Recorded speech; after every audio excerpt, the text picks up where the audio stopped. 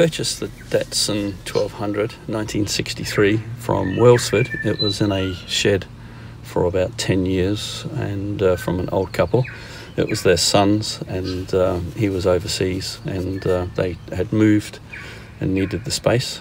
So uh, trailered it home. I actually drove it um, around their farm, and uh, and it was uh, very very good.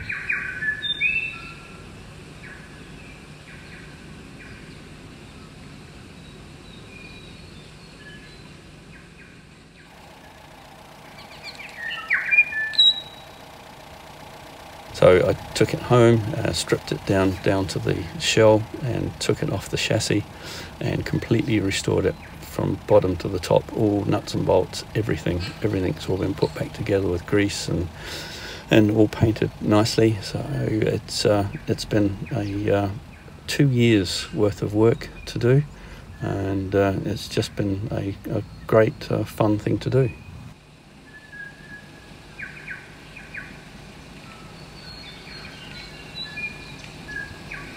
I did uh, all the work myself, apart from the restoring the motor. Uh, that was uh, done by uh, engine reconditioners.